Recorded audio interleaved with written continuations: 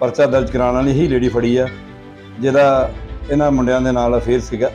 Affair ਹੋਣ ਕਰਕੇ ਜਿਹੜਾ ਕਿ ਉਹਨਾਂ ਨੇ ਪੈਸੇ ਦੀ ਡਿਮਾਂਡ ਕੀਤੀ ਸੀ, ਉਹਨੇ ਕਿਹਾ ਮੇਰਾ ਘਰ ਵਾਲਾ ਰੋਡਵੇ ਦੇ ਵਿੱਚ EMPLOYE ਹੈਗਾ, ਜੇ ਤੁਸੀਂ ਕੁਝ ਕਰਨਾ ਹੈਗਾ, ਤੇ ਇਹਦੇ ਨਾਲ ਕਰ ਸਕਦੇ ਹੋ।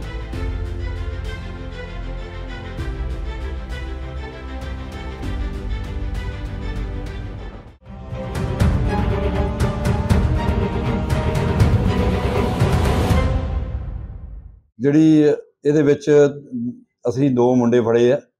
ਇੱਕ ਪਰਚਾ ਦਰਜ ਕਰਾਉਣ ਵਾਲੀ ਹੀ ਲੇਡੀ ਫੜੀ ਆ, ਜਿਹਦਾ ਇਹਨਾਂ ਮੁੰਡਿਆਂ ਦੇ ਨਾਲ ਅਫੇਅਰ ਸੀਗਾ।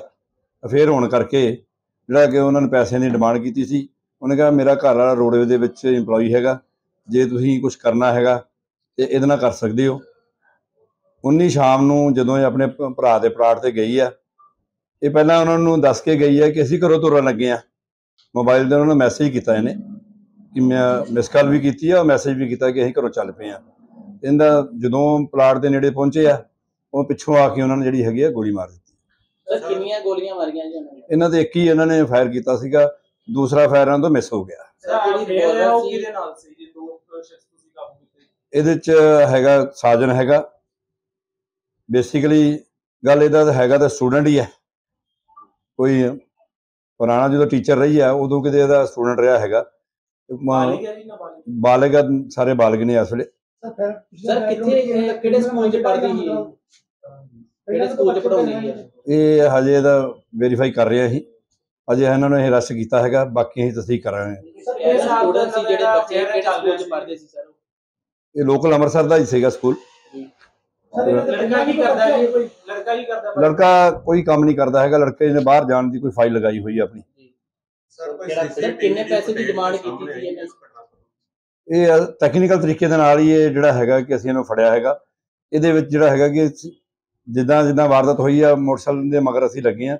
ਸੀਸੀਟੀਵੀ ਦੀ ਕੈਮਰਿਆਂ ਦੀ ਵੀ ਕਾਫੀ ਮਦਦ ਲਈ ਗਈ ਆ ਔਰ ਟੈਕਨੀਕਲ ਤਰੀਕੇ ਦੇ ਨਾਲ ਵੀ ਇਹਨਾਂ ਦੇ ਮੋਬਾਈਲ ਦੀ ਵੀ ਸਰਚਿੰਗ ਕੀਤੀ ਆ। ਉਹਦੇ ਤੋਂ ਅਸੀਂ ਇਹਨਾਂ ਨੂੰ ਟਰੇਸ ਕੀਤਾ ਹੈ ਸਾਡੇ ਬੰਦੇ ਆ ਇਹਨਾਂ ਦੇ ਪਿਛਲੇ ਕੋਈ ਕ੍ਰਿਮੀਨਲ ਬੈਕਗ੍ਰਾਉਂਡ ਹੈਗਾ ਜਾਂ ਇਹਨਾਂ ਦੀ ਪਹਿਲੀ ਵਾਰ ਦਾ ਨਹੀਂ ਹਜੇ ਇਹਨਾਂ ਦਾ ਵੈਰੀਫਾਈ ਕਰ ਰਹੇ ਆ। ਅਜੇ ਤੱਕ ਸਾਹਮਣੇ ਕੋਈ ਆਇਆ ਨਹੀਂ ਹੈਗਾ। ਰਿਵਾਲਵਰ ਸੀ ਦੋ ਨੰਬਰ ਦੀ ਸੀ ਜਾਂ ਰਿਵਾਲਵਰ ਇਹਨਾਂ ਦੀ ਜਿਹੜੀ ਪਿਸਟਲ ਜਿਹੜੀ ਰਿਕਵਰ ਕੀਤੀ ਅਸੀਂ ਉਹ ਦੋ ਨੰਬਰ ਦੀ ਸੀਗੀ।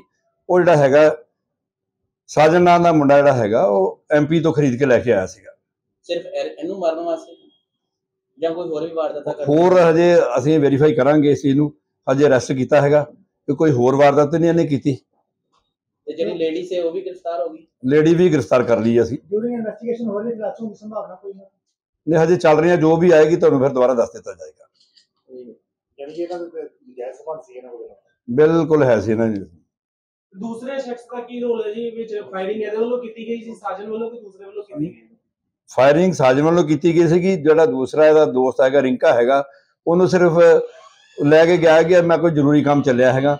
ਉਹਨੂੰ ਪੂਰੀ ਉਹਨੇ ਗੱਲ ਦੱਸੀ ਨਹੀਂ ਸੀ ਕਿ ਮੈਂ ਇਸ ਕੰਮ ਲਈ ਨਾਲ ਲੈ ਕੇ ਜਾ ਰਿਹਾ ਹੈਗਾ। ਕਿਹੜੇ ਇਲਾਕੇ ਦਾ ਰਹਿਣ ਵਾਲਾ ਸੀ? ਇਹ ਸ਼ਹੀਦ ਊਧਮ ਸਿੰਘ ਨਗਰ ਦੇ ਰਹਿਣ ਵਾਲੇ ਹੈਗੇ।